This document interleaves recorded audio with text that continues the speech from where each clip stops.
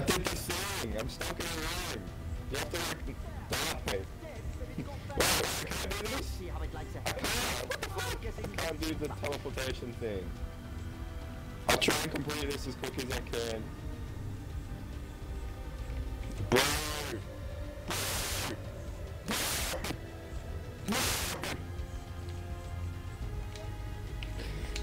Why is it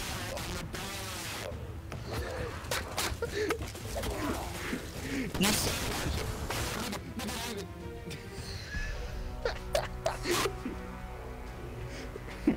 Damn, did you see?